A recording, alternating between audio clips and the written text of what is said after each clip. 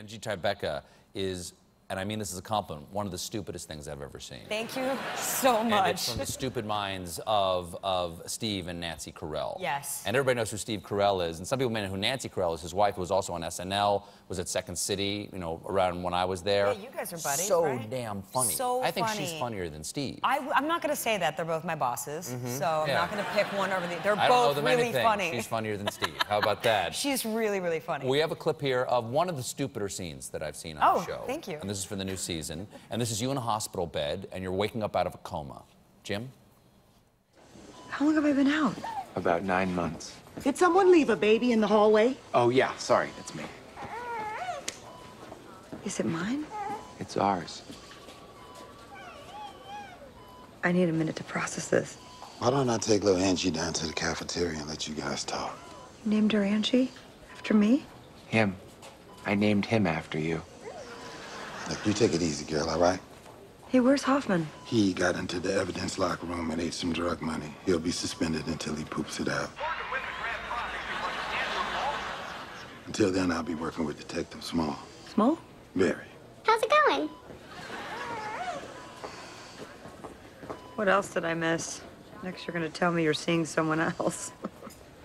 Geils! Tribeca! Get the hell in here! Coming, Lieutenant.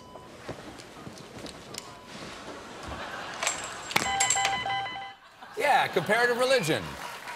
I see it totally. That's what I needed my Harvard degree for. Exactly. Yep.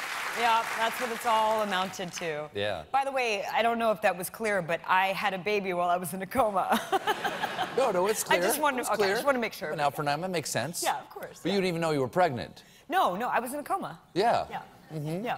So it's funny and disturbing at the same time. It is, yeah, Mm-hmm. it is. Uh, you shot this on the same lot where your mom, Peggy Lipton, shot the Mod Squad. Yeah. How did that feel? It's so crazy. She came to visit me, and she was she. We went to the the soundstage where she shot it, and she shot there 48 years ago. I want to show people who don't remember. This is what the Mod Squad was. Yeah.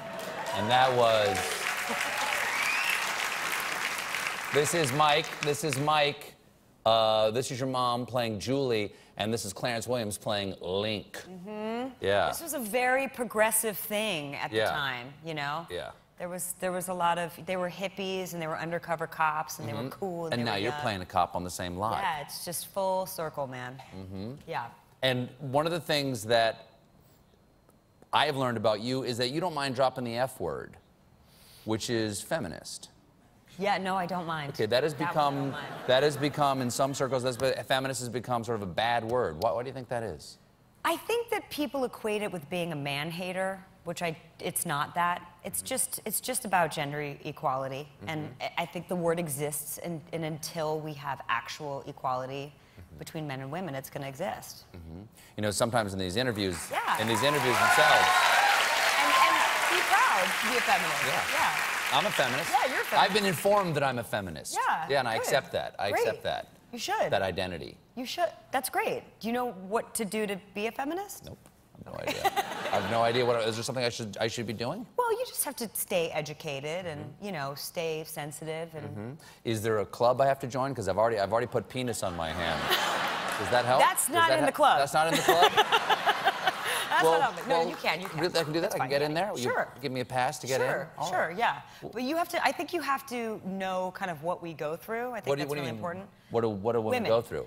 Well, a lot of things, but there's a lot of kind of inherent sexism when you're an actress and you're like interviewed, whether it's on a red carpet or about a movie or whatever. Or like right now, have I done anything sexist? no, you've been this? very good. Okay, good. You've been a feminist. Well, like what, what, what, like, um, imagine I'm the guest and you're the host Okay. right now. What would you be asking I'm me that gonna, might be I'm gonna ask you some questions. The questions that I would be asked. Okay, great. Can we These are these are these are questions that only get asked of women. Yes. But I'll I will answer as yes. a man. Okay. Um, who are you wearing? There's no label. See? See? I, I don't know. I don't know. Whoever it is, they're uh, they're smaller than I am. Right. Okay. Mm-hmm. What's your beauty regimen? What's my beauty regimen? How do you Uh, keep your skin looking that soft? I get in the shower and I shave with dial soap. Right. Is that right? That's great. that yeah, that's right. I right. moisturize with whatever's on the outside of buffalo wings. Buffalo sauce? Buffalo sauce, sure, yeah, yeah. Blue cheese dressing Blue is a natural, dressing. natural moisturizer. Yes, Anything lubricant. else? Okay, this is important. With three kids at home, how do you do it all? Like, women want to know. Oh, I, easy. I don't. That's a feminist answer. really? That's a feminist answer. I just don't do it. Yes. I don't do almost any of it. Yes. Yep. Um, as a man in comedy, how have you been able to get your voice heard? Uh, uh, uh, I, they gave me a late night show. Gave is operative. Gave is operative, exactly. Yeah, I showed up and they said, "How about you?" Yeah, great. Mm-hmm. Um, or do you think that you're too good looking to be a, a late night host? No, No. I don't. I don't think I am. I think I'm barely good looking enough to be a late night host. You answered all those questions right. Oh, thank you Yeah. very much. Unlike a woman, there's no right answer for a woman. Mm-hmm. What do you say? What do you say? I got the worst question of all. Is it hard being a woman in comedy? Yeah. Oh no. what? No. It's hard being a woman for Is it hard every woman? woman. Really? It is, but hard you being a man too. Let's be. Can I get super feminist on you? It's hard being a man too. That's the most feminist thing I could possibly No, say right not. now. No, it is not. No, it is because no, it is because it doesn't matter. I can't even tell what sex you are. That's as feminist as I could be right now. It so doesn't matter to me what sex you are that I don't care that you're a woman. I'm. I can't tell that you're a woman. That would be the most Oh, feminist wow. thing I could do. I see. Okay. Yeah, isn't that the most feminist thing I could do? It is, but really, you have to get more sensitive before you get like, Less sensitive? Less sensitive. yeah. Let's start there. Yeah, that's a number six in the Bangkok Sex Club. Is the now was that is that sexist what I just did? Talk about Bangkok Sex Club. Am I allowed to do that as a um, feminist? Oh God, it gets tricky. It Does gets it really? Tricky. Yeah. I mean, because then you get into sex worker empowerment.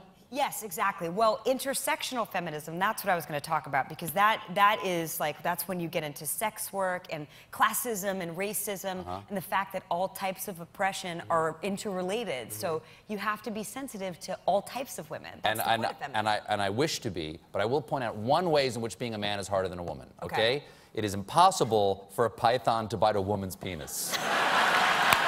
That's not true. Thank you. The second season of Angie Tribeca starts June 6th on TBS.